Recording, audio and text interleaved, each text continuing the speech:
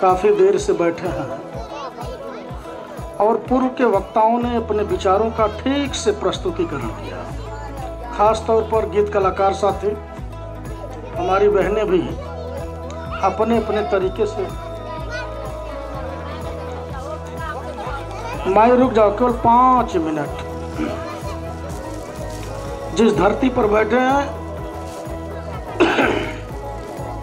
इस धरती का बहुत लंबा चौड़ा इतिहास है। तवारी के पन्ने इस बात के सबूत और गवाह हैं कि इस मुल्क को सोने का चिड़िया कहा गया। और कहा गया कि इस देश में दूध और दही की नदियाँ बहती थी एक जमाना हुआ करता था जब यह देश दुनिया का विश्व गुरु कहलाया।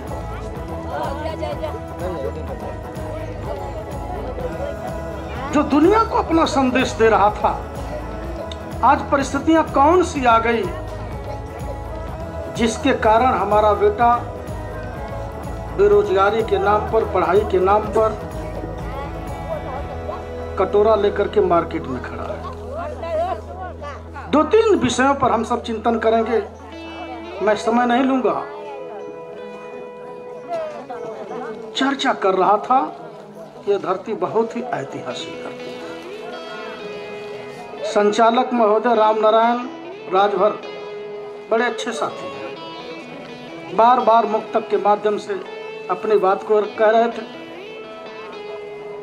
और मैं भी वहीं से शुरुआत करूँगा जहाँ से इन्होंने खत्म किया, कि यहाँ की भूमि भी कुंदन से कम नहीं। यहाँ की भूमि भी कुंदन से कम नहीं, राष्ट्र की रागिनी बंदन से कम नहीं। आओ, चुटकी से उठा, माथे लगा ले हम, क्योंकि फतेहपुर की माटी चंदन से कम नहीं, चंदन। करुणा के सागर, तथागत भगवान गौतम बुद्ध के चरणों का नमन करते हुए, राजभर समाज की आन मान शान श्रावस्ती सम्राट महाराजा सुहलदेव जी के चरणों का नमन करता हूँ और ऐसे महापुरुष के नाम का स्मरण करूँगा, जिन्होंने दुनिया की कोने कोने में घूम घूम करके मानवता का संदेश दिए थे। बाबा साहब डॉक्टर भीमराव अंबेडकर समवेत संतों, गुरु और महापुरुषों के प्रति बहुत ही आदर का भाव व्यक्त करते हुए मंचस्थ विराजमान जो इस कार्यक्रम की अध्यक्षता कर रहे हैं, सम्मानित अध्यक्ष जी अपने विचारों का ठीक से प्रस्तुतिकरण किए, जिनके अंदर समाज की पीड़ा है, समाज की दर्द है।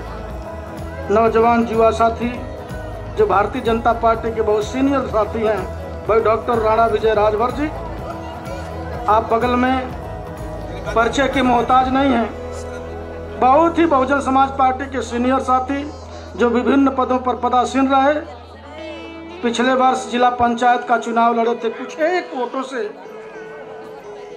पंचायत में नहीं जा पाए।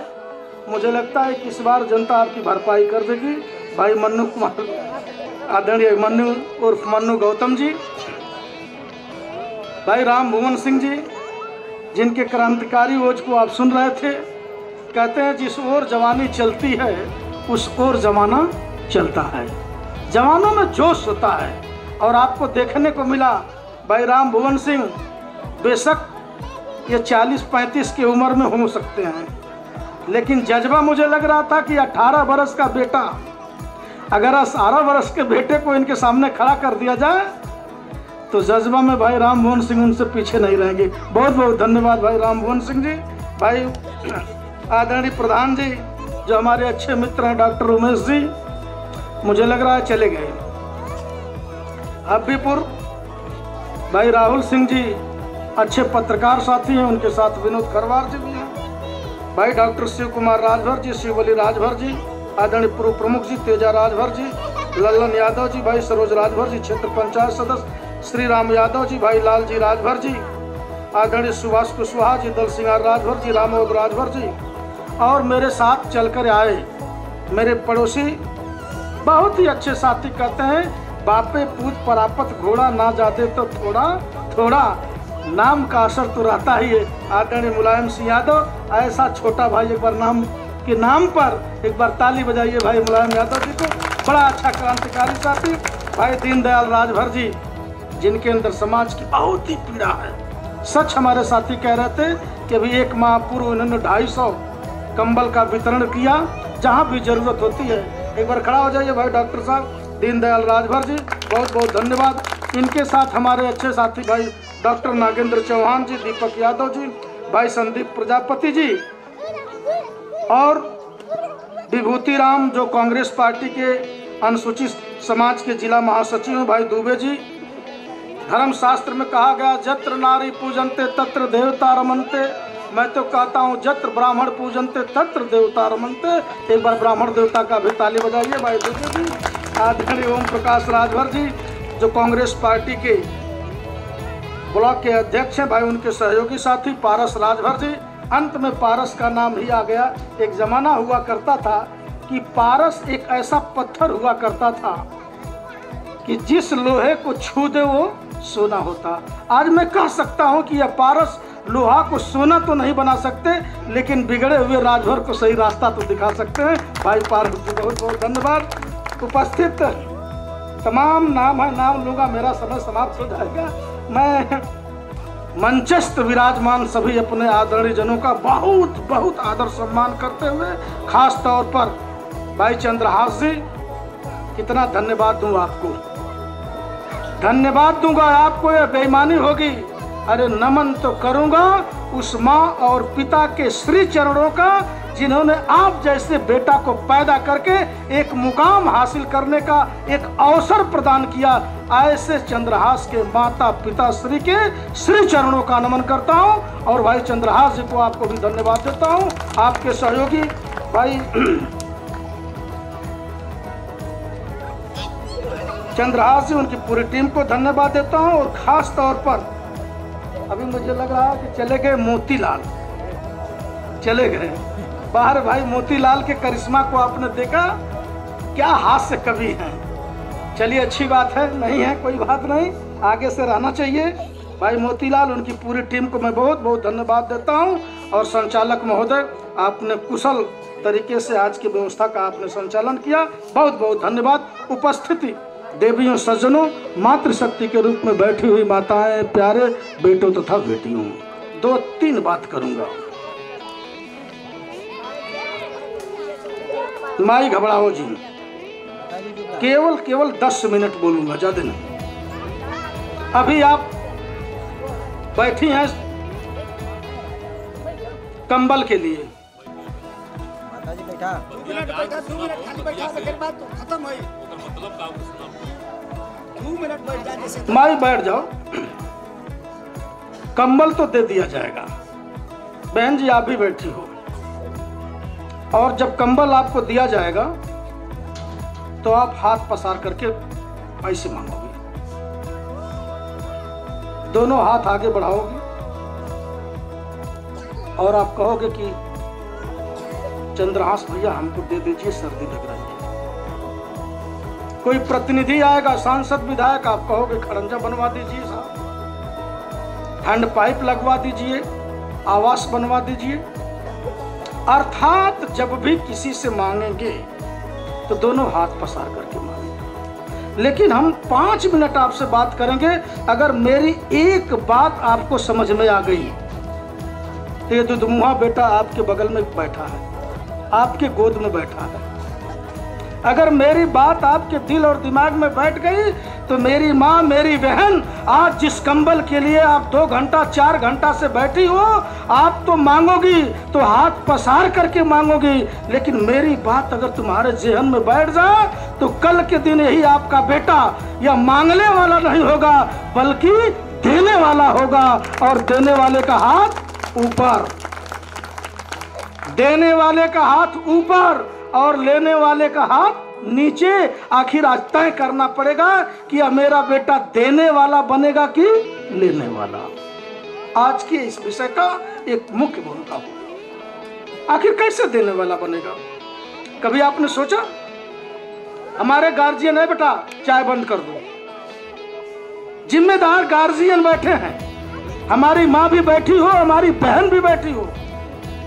ईमानदारी से बताओ अपने कलेजे पे हाथ रख करके, क्या आप अपने बेटा को तीन बजे भोर में, चार बजे भोर में, पाँच बजे भोर में आप जगाती हो?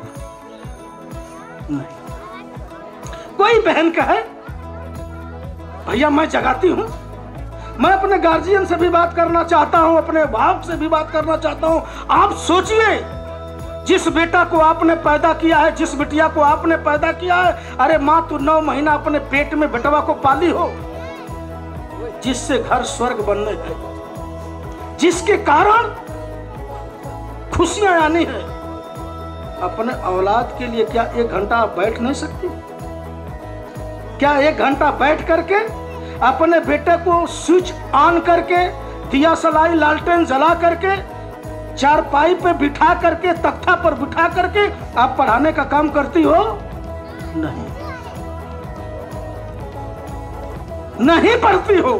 सोचो मेरी माँ, मेरी बहन, जब तुम अपने ज़िम्मेदारी का निर्वाह नहीं करोगे, दुनिया में कोई ऐसा व्यक्ति नहीं है जो तुम्हारी समस्याओं का समाधान केवल डॉक्टर रमाशंकर राजभर रास्ता बता रहा है। अगर रास्ता को अख्तियार कर लोगे तो कल आज मैं बात करके जा रहा हूँ, यही हमारी बेटी 10 साल के बाद जब पढ़ लिख करके लायक बनेगी, आईएएस बनेगी, आईपीएस बनेगी, पीसीएस बनेगी तो एक बार तुम कहोगे कि डॉक्टर रमाशंकर राजभर ठीक कहा था आज से दस साल पहले, तुम्हारी बात मैंने मानी थी।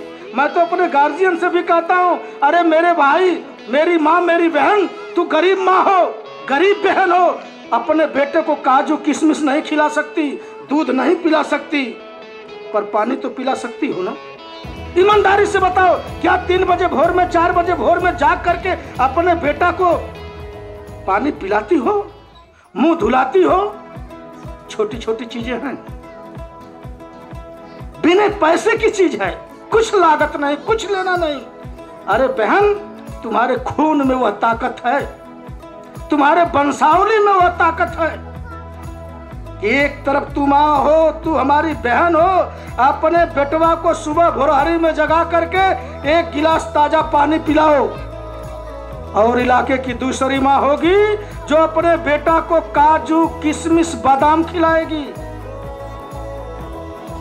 तू अपने बेटा को पानी पिलाओगी, दूसरी माँ काजू, किशमिश, बादाम खिलाएगी। कहता हूँ, तीन महीने बाद प्रतिस्पर्धा की दौड़ होगी।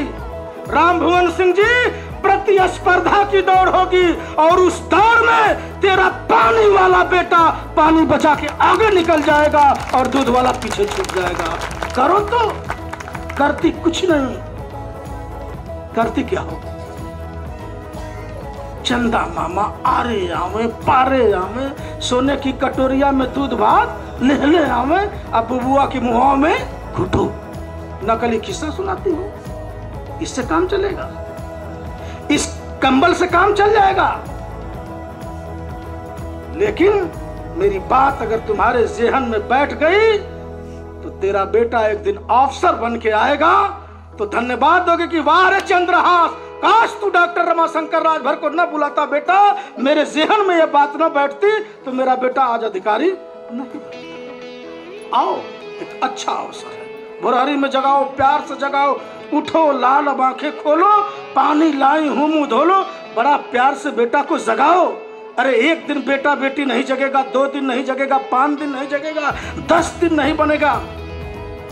पुआल की रसड़ी जब कुएँ पर रगड़ करते करते करते करते जब पत्थर को काट देती हो तो जिस बेटा को सुबह शाम भोजन कराती हो, जिस बेटा को कपड़ा पहनाती हो, वो बेटा तुम्हारी बात नहीं मानेगा। मानेगा, एक दिन नहीं, दो दिन नहीं, चार दिन नहीं, दस दिन नहीं, पंद्रह दिन जाते जाते वो आदत पकड़ लेगा। और जिस दिन बेटे को गणित लगाना आ गया, जिस दिन बेटे को अंग्रेज़ी पढ़ना आ गया, जिस दिन पढ़ने का आनंद बेटा को मिल जाएगा फिर उस दिन अपने बेटा को जगाने की ज़रूरत नहीं पड़ेगी। कर लो बेटा। आज आवश्यकता है, इसकी ज़रूरत है। और स्वर्ग और नरक, न ऊपर है, न नीचे है, न दाएँ है, न है। स्वर्ग है तो केवल आपके आँगन में है। समय बिल्कुल समेट रहा हूँ, क्योंकि मुझे भी समझ में आ रहा है कि आप जाने के मिजाज में हैं। स्वर्ग ऊपर नीचे नहीं है। जिस घर में पति पत्नी का अच्छा संबंध होगा, जिस घर में भाई भाई का अच्छा संबंध होगा, जिस घर में सास बहू का अच्छा संबंध होगा, जिस घर में ननद जेठानी का अच्छा संबंध होगा, वही घर स्वर्ग होगा और जिस घर में महाभारत छिड़ी होगी, वही घर नरक होगा। क्या चाहती हो? हाँ? डॉक्टर राणा विजय, भारतीय जनता पार्टी के सबसे बड़े ठेकेदार हैं। और इन्हीं से मैं शुरुआत करता हूँ। ये राम के पोषक हैं, मैं भी आदर करता हूँ। भगवान राम जब बाली को मारते हैं और सुग्रीव जब बचता है तो कहते हैं, बोल सुग्रीव, तुमको कहाँ भेज दें? स्वर्ग में जाओगे कि नरक में जाओगे? तुलसी बाबा रामायण में लिखते हैं बल भय बास नरक करता दुष्ट संग जन देहु विधाता। आए पूर्ण ब्रह्म परमात्मा, मुझे नरक में भेजना। शर्त यह हो कि जब नरक में भेजना तो पढ़े लिखे लोगों का साथ कर देना, अच्छे लोगों का साथ कर देना, ताकि नरक को भी स्वर्ग बना दे और प्रभु स्वर्ग में भेज देंगे और कहीं दुष्टों का साथ कर देंगे तो स्वर्गों को भी नरक बना देंगे। प्रेम से बोलो, संत शिरोमण रविदास की। एक अध्याय कथा हुई है अभी उमेश जी, अभी एक अध्याय कथा हुई है। यानी स्वर्ग सुना तो के जड़वत ना हमारी हमारा ही कहा तो निकाल के तो के दे। देंगे चला घबराओ जिन, बस दो मिनट आओ। दो बात मैंने कहा। कभी कभी ट्रेन जाती है ना माई, सुनो, ट्रेन जैसे चलेगी मऊ से और रुकना होगा उसको औड़िहार और बिचवे में जब चेन पुलिंग हो जाता है तो फिर पूरा कोयला डालना पड़ता है। तब फिर रफ्तार पकड़ती है। चलो, कोई बात नहीं, माई है, कोई बात नहीं। अभिप्राय मित्रों छोटी छोटी समस्याएँ हैं। छोटी समस्याएँ ही हमें पिछाड़ रही हैं। आप ज़रूर था, मैंने दो बातों पर बल दिया। एक तो अपनी बिगड़ी बनाना चाहते हो, मेरे भाई, अपने बेटा बेटी को पढ़ाओ। और दूसरी बात मैंने कहा कि घर में भाईचारा बनाओ। जब आप घर में भाईचारा बनाएँगे, फिर सर्व समाज में भी भाईचारा बनाएँगे। मैं नहीं कह सकता कि अमुक समाज का व्यक्ति खराब है। हम तो कह रहे हैं कि बहन तुलना करा रहा हूँ। दुबे जी बैठे हैं। ध्यान से सुनो मेरी बात। दुबे जी बैठे हैं, मैं इनको साक्षी मान के कह रहा हूँ, हर ब्राह्मण धनवान नहीं है। कुछ ब्राह्मण समाज के ऐसे भी लोग हैं, बहुत गरीब हैं। बहुत गरीब हैं, इतना गरीब हैं, भिक्षाटन करते हैं। भिक्षाटन करते हैं, भीख मांगते हैं। लेकिन भीख मांगने वाले ब्राह्मण से पूछना कि, हे बाबा, ये बताइए कि आपका कै ठो लड़के कहेंगे, ए बेटा, तीन ठो लड़का। पूछबो कि का कर ले बाबा? कहें, एगो लड़कवा इलाहाबाद में पढ़ता दूसर का बनारस में, आ छोटका वही कासमाबाद में पढ़त, वहू के तैयारी करत अरे मैं तो धन्यवाद देता हूँ दुबे जी। ब्राह्मण समाज को धन्यवाद देता हूँ। ब्राह्मण समाज अगर भिक्षाटन करता है, कल के दिन अगर बेटा को दिल्ली भेजना होगा, दो गाँव के बजाय चार गाँव भिक्षाटन करेंगे, लेकिन अपने बेटा को दिल्ली यूनिवर्सिटी में पढ़ाएँगे। और राजभर का बेटा? राजभर का बेटा दुबई में काम करता है, सऊदी की खाड़ी में काम करता है, कलकत्ता, बॉम्बे और दिल्ली जैसे शहरों में कमाता है, कोलेरी में कमाता है। एक लाख सैलरी पाता है, माफ़ करिएगा, शाम का वक्त हो गया है। अगर मेरी बात गलत लगे, प्रमाण के रूप में देख लीजिएगा। अगर कासमाबाद में सबसे बड़ी कोई पाउच की दुकान होगी, शराब की दुकान होगी, अगर जितना बिक्री होगा तो उसका एक बटा दो राजभर का बेटा पीने वाला होगा। इस पर भी ताली बजाएँगे। देखो ताली तो सोचो, सोच के देखिए, जब राजभर का बेटा शराब पिएगा सूरज हुआ अस्त राजभर हुआ यही दिनचर्या है। माफ़ करिएगा। मैं आज अपने मन की पीड़ा बता रहा हूँ, चंद्रहास भाई, चूँकि इसी कौम में पैदा हूँ, दुबे जी, अपने लोगों को देख के मुझे लगा कि छोटी छोटी खामियाँ हमें पीछे ढकेल रही इस बात को फोकस करना चाहिए। बेटा नौजवान, जरा सोचो और संभलो। अगर नहीं सोचेंगे वक्त पीछे मुड़ेगी, कभी मुड़ करके ना आएगी नहीं। आज आवश्यकता है, हमारी जो छोटी छोटी खामियाँ हैं, इस पर बदस्तूर विचार करें। और अगर इसको ठीक से नहीं करेंगे तो सूरज अस्त हो रहा है। थोड़े देर में अंधेरा हो जाएगा, हमारी माँ घबरा रही है। इसको चिंता हो गई कि अब तो मैं डूब जाऊँगा। और जब डूब जाऊँगा तो पूरी दुनिया अंधकारमय हो जाएगी। एक गाँव का बना हुआ माटी का दीपक। फतेहपुर गाँव का माटी का दीपक। सूरज के पास पहुँचता है और कहता है, सूरज, तू किस बात की चिंता करता है? सूरज ने कहा रे दीपक, तू मुझसे पूछ रहा है, तुझे पता नहीं? अब मैं डूब जाऊँगा और जब डूब जाऊँगा तो पूरी दुनिया अंधकारमय हो जाएगी. गाँव का माटी का दीपक सूरज को ललकारता है, सूरज तुझे डूबना है, तू डूब। मुझे उसकी चिंता नहीं। अरे, मैं तो गाँव का बना हुआ माटी का दीपक हूँ। जहाँ भी रहूँगा टिमटिमाते रहूँगा और रोशनी देते रहूँगा। बहन, आप भी इसी तरह से टिमटिमाते रहो। जहाँ रहिए, चौपाल पर रहिए, कासमाबाद के चौराहे पर रहिए, तिराहे पर रहिए, जहाँ भी रहिए, अपने समाज की चिंता करते रहिए। मुझे बचपना का वो प्रार्थना याद है। कि जब हम लोग छोटी कक्षाओं में पढ़ा करते थे तो प्रार्थना हुआ करती थी, वह शक्ति हमें दो दया निधे, कर्तव्य मार्ग पर डट जावे। और आगे की पक्ति होती थी कि जिस देश, जाति में जन्म लिया, बलिदान उसी पर हो जाओ आज आवश्यकता है। ज़रूरत है। अगर अपना बिगड़ी बनाना चाहते हैं, अपने मंडैया में खुशियाँ लाना चाहते हैं तो हमें तीन बातों पर बल देना है। पहली बात अपने बेटा और बेटी को पढ़ाओ। आधी रोटी खाओ, मंडई में गुजर बसर करो, एक राजभर खड़ा होकर कह दे, डॉक्टर रमाशंकर राजभर तेरे कथन में बल नहीं, तू झूठ बोल रहा है। मैं तो कहता हूँ, हे हमारे समाज के लोगों, अगर घर बनाना होगा, आर्किटेक्चर के पास जाओगे, इंजीनियर के पास जाओगे, सिंह साहब के यहाँ जाएँगे, गौतम जी के यहाँ जाएँगे लाल जी राजभर से पूछेंगे लाल जी बहुत घूमते हो, बताओ हमारा मकान कैसे बढ़िया बने? बिटिया की शादी करनी होगी, तीन पीढ़ी तक पता करेंगे इसका कुल खानदान कैसे है। लेकिन कभी अपने लड़के को पढ़ाने के लिए किसी दुबे जी के यहाँ, किसी पांडे जी के यहाँ, किसी सिंह साहब के घर, किसी यादव जी के घर बैठ करके पूछे हैं कि भैया जरा बताइए, अब हमारा लड़का कक्षा बारह में पढ़ रहा है, आगे कौन पढ़ाई पढ़ेगा? कभी पूछे हैं? खेत बेच करके घर बनाने वाला बाप तो कईयों मिले। खेत बेच करके बिटिया की शादी कराने वाले बाप तो कईयों मिले। लेकिन एक भी बाप आज तक मैं नहीं पाया जो खेत बेच करके अपने बेटे को पढ़ाने का काम करता हो। आज ज़रूरत है, आवश्यकता है कि बेटा को अगर पढ़ाना हो तो सीने ठोक के कहूँगा कि मेरे भाई पढ़ाओ, खुद पढ़ाओ, खेत बेचना पड़े, बेचो। और आवश्यकता समझ में आए तो डॉक्टर रमाशंकर राजभर से भी बात करो। जितना भी बन पाएगा, हम भी आपकी मदद करेंगे। मैं तो खुल के कह रहा हूँ, कोई दूर नहीं है भैरवपुर गाँव। मैं इसी माटी का बेटा हूँ।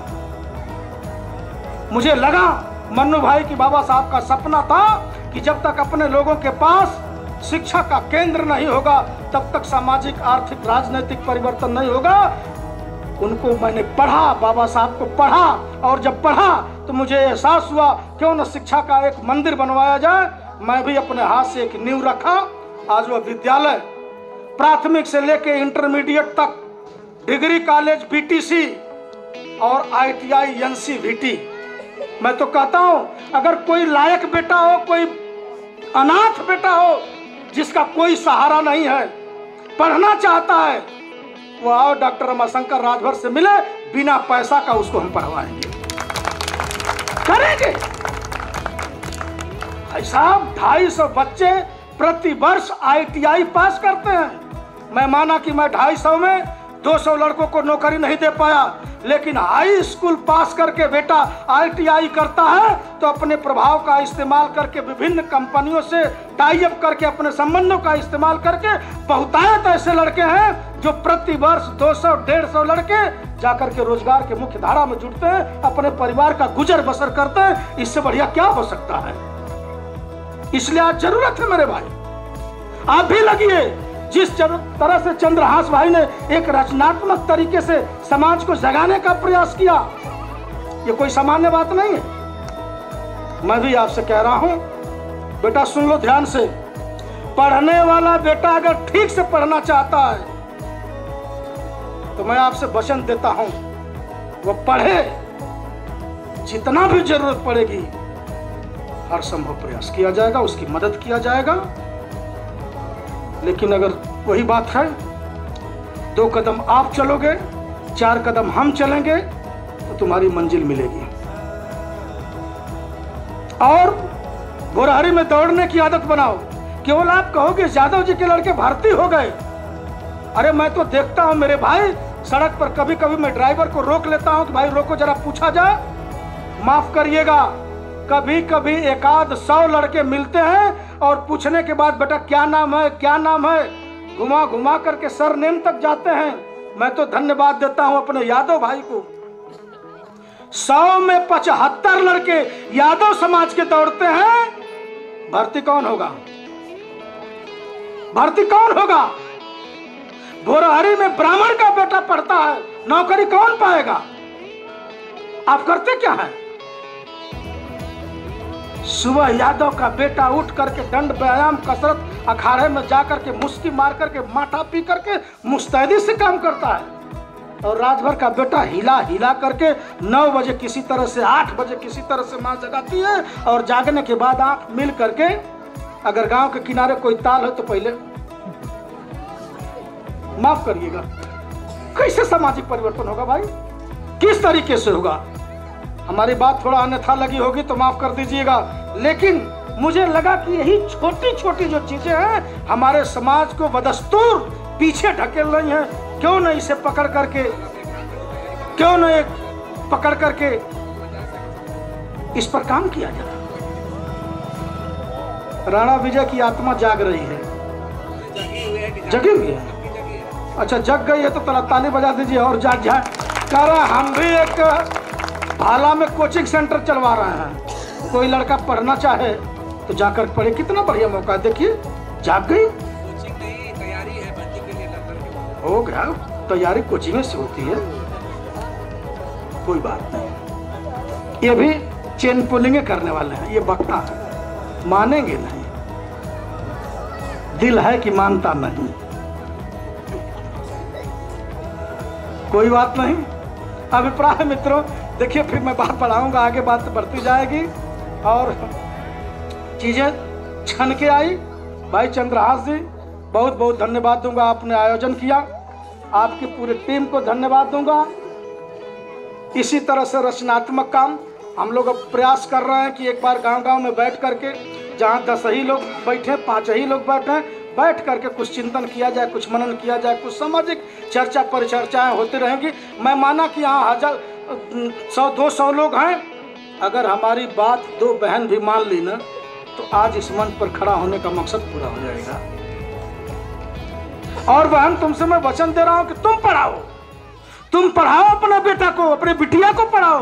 और पढ़ा करके 10, 12, 15 बरस का जब बेटा होता है तो डॉक्टर रमाशंकर राजभर से हिसाब लो ए भैया तू तो कहले रहा हम पढ़ावे शुरू कैली रोज पढ़ाई ला। अब बतावा हमारी लड़का के काहे ना नौकरी मिलत है बोला नौकरी तो के चाहिए ना बेटा के?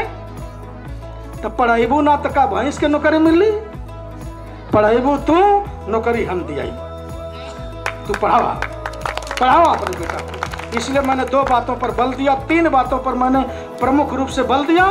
चाहे खराब कपड़ा पहनना हो 500 साड़ी के जगह पर चार ही सौ का साड़ी पहन लो। सौ रुपया अपने बेटा को फ़ीस दे दो। पाँच कोठरी न बन पावे, न बन पावे।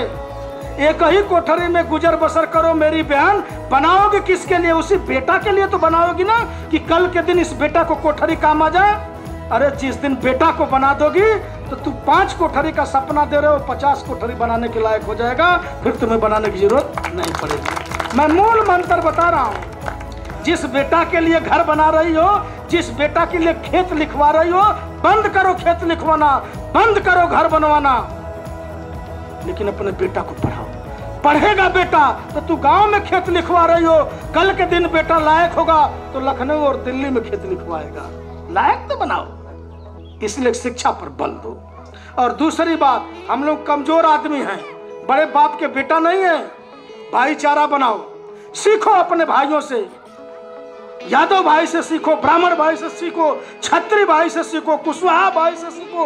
पाँच पाँच भाई एक चारपाई पे बैठ करके अस्सी बरस का जब बुज़ुर्ग लाई और चूरा ढेली के साथ बैठ के भैया, तू खा तू खा तू खा। जब पाँचों भाई एक चारपाई पे बैठते हैं तो रास्ता पकड़ के जाने वाला व्यक्ति कहता है बाहर समाज देखा भैया, फलाने पाँच भाई हैं भैया, अस्सी बरस उम्र हो गई है, लेकिन गजब को सलमत बा। कितना बढ़िया से एक में रहना।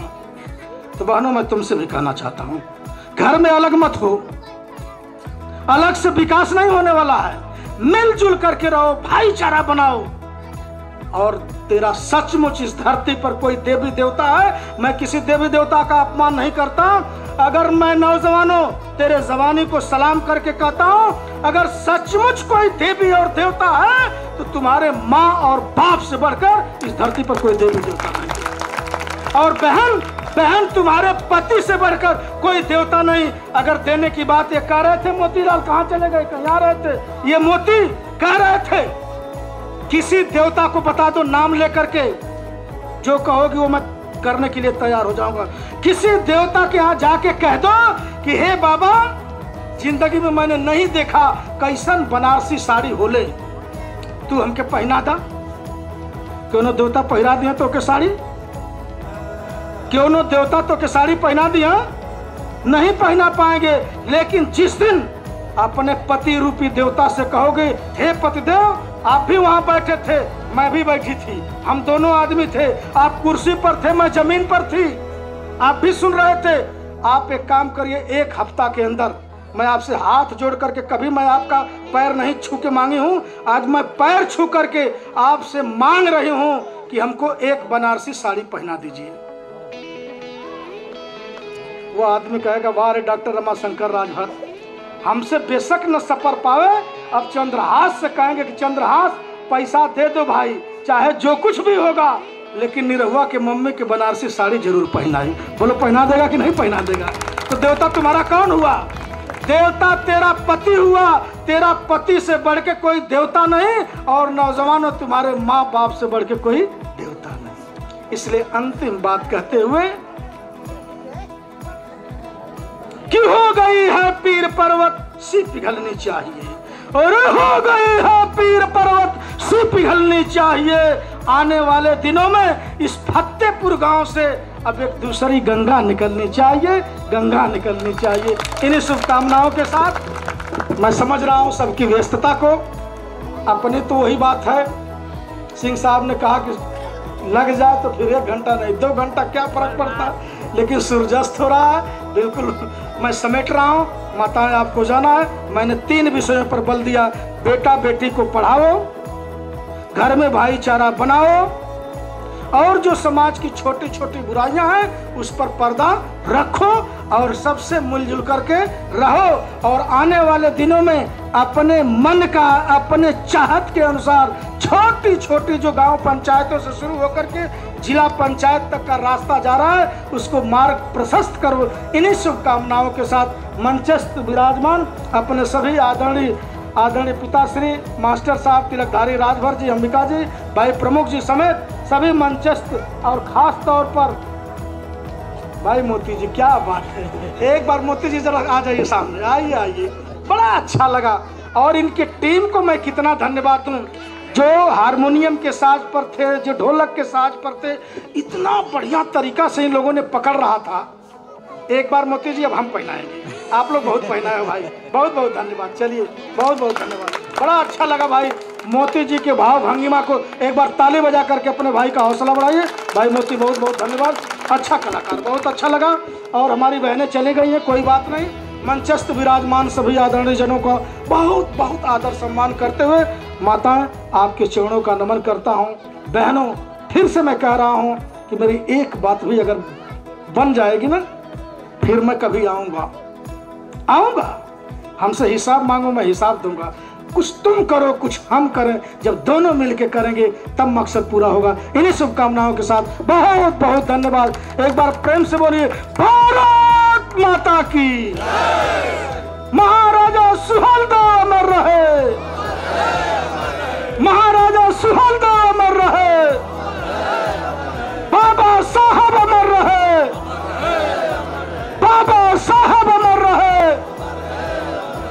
कभी विस्तार से, बेटा, कभी जो है ना, बंद कोठरी में मैं ठीक से चाक और डस्टर लेकर के कभी मौका मिलेगा? एक बार मैं बैठूँगा और विधिवत आपको बताऊँगा, आप कहाँ हैं, कहाँ से आए हैं और आपको क्या करना चाहिए। तीन कोटेशन होगा, हम कौन हैं, कहाँ से आए हैं और हमें क्या करना चाहिए। इसी टॉपिक पर मैं कभी ठीक से श्यामपट को बताऊँगा। बहुत बहुत धन्यवाद। जय हिंद, जय भारत। नमो बुद्धाय जय राजभर समाज, जय सर्व समाज। अभी अभी जिनको सुन रहे थे, आप लोग साथियों जितनी बार सुनते हैं हम लोग, माननीय मुख्यमंत्री, मुख्य मुख्य मुख्य अतिथि महोदय को, अभिलाषा उतनी ही सुनने की बढ़ती जाती है। सिर्फ़ एक मिनट, जिनके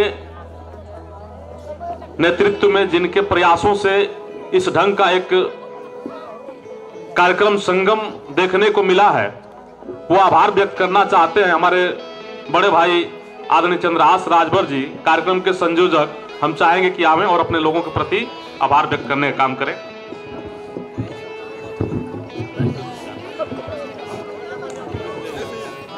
बहुत बहुत धन्यवाद। हमारे संचालक महोदय, मुख्य अतिथि महोदय सारे लोगों को मैं संबोधित न करते हुए, जितने अतिथिगण आए हैं, मुख्य अतिथि और क्षेत्र जवार से सभी सम्मानित बंधुओं का, मैं ताहे दिल से हार्दिक स्वागत, अभिनंदन, वंदन करता हूँ। टाइम बहुत ज़्यादा हो चुका है। लेकिन मैं चाहूँगा, मैं आपके बीच में एक ही बात रखूँगा, कि मैं जो आपके लिए संकल्पित हूँ समाज के सेवा के लिए एक मिनट मेरी बात बस सुन करके आप लोग जाइएगा। 201 उन गरीब कन्याओं का मैंने शादी करवाया, पैतालीस हज़ार रुपया गरीब परिवार में भिजवाया। और प्राइवेट में आप लोग शायद नहीं जानते होंगे, ग्राम सभा के हैं। महारे में इक्यावन बहनों की शादी हो रही थी। ये चंद्रहास राजभर आप जैसे लोगों से सहयोग लेकर एक ट्रक सामान डॉक्टर शिव कुमार राजभर जी के द्वारा एक कुंतल लड्डू, एक कुंतल ढूढ़ी, एक कुंतल बतासा, एक इक्यावन दौरी, उसमें आटा, ये सारी चीज़ें मैंने प्राइवेट में, ऐसा नहीं कि सरकार ने दिया था। ये मैंने दिया था उस महारे में उन गरीब बच्चियों के लिए। इसी कासवाबाद में 105 बच्चियों को मैंने सामूहिक शादी करवा करके और उनके परिवार में पैसे भिजवाया और उन्हीं गरीब परिवार से मैंने महारे के लिए मैं एक बात बड़े दुख दर्द के साथ कहना चाहूँगा कि बड़े अदब के साथ मैंने कहा था कि मेरे गरीब भाई और मेरी गरीब बहनें, एक बात याद रखना, महारे में भी गरीब हमारी बहनों की शादी है। तुम्हें मैंने दिलवा दिया पच्चीस पचास हज़ार।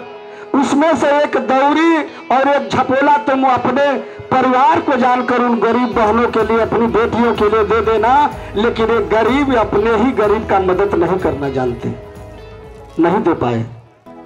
और मैंने एक ट्रक सामान उठा करके यहाँ से अपने कार्यालय से व्यवस्था बनवा करके उस महारे में उन गरीब बच्चियों के लिए भिजवाया। अभी अभी आप लोगों ने पिछले साल एक चौदह नवंबर को इक्यावन बच्चियों का सामूहिक शादी मैंने करवाया। इसी नेशनल इंटर कॉलेज के मैदान पर पैतालीस पैंतालीस हज़ार रुपया उनके परिवार, गरीब परिवार में भिजवाया। मैं ये नहीं कहता कि मुझे इस पर देख करके ये मेरा काम है। अभी मीडिया कर्मियों ने मुझसे पूछा कि आपका मकसद क्या है चंद्रहास भाई? मैंने साफ़ कहा कि देखिए, मैंने जो संकल्प लिया, उस संकल्प को मरते दम तक निभाऊँगा। आप निभाए चाहे न निभाए, लेकिन ये संकल्प लिया है, चंद्रहास तो निभाएगा। समाज का सेवा करता हूँ, करता रहूँगा, और जो भी हमारे ग्राम सभा के लोग या दूर से भी आए, हमारे जो सम्मानित बंधु हैं, अगर जाने अनजाने में मुझसे गलतियाँ हो गई होगी तो अपना दास समझकर, अपना बेटा समझकर आप लोग मुझे क्षमा करिएगा। और मैं बस आपसे एक ही चीज़ मांगूँगा कि मेरा हौसला कभी पस्त मत होने दीजिएगा।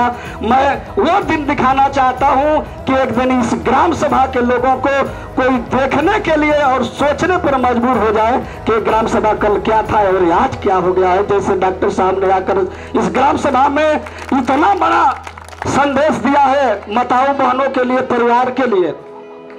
तो ऐसे ऐसे लोगों को ऐसे ऐसे कलाकारों को इस मंच तक, इस ग्राम सभा में लाने का मैं संकल्पित हूँ, कभी भी वक्त पड़ेगा तो ये कार्य जारी रहेगा और हमेशा आपके सेवा में तत्पर रहूँगा। अब आगे आपको देखना है, मेरी गलतियों को क्षमा करते रहिएगा और मेरे हौसले को बुलंद करते रहिएगा। इन्हीं चंद बातों के बाद बहुत समय हो चुका है, बहुत कुछ कहना चाहता था, क्षमा करेंगे। और सभी लोगों का अभिवादन और आभार व्यक्त करते हुए कार्यक्रम की समापन करेंगे हमारे अध्यक्ष महोदय, आदरणीय। हाँ और हाँ अभी जो हमारे विधवाएँ और विकलांग लोग हैं, जिनको वितरण करना है बारी बारी से इस पर लिस्ट पर नाम बोलेंगे हम और आप लोग लेकर के अपने स्थान पर जाएँगे।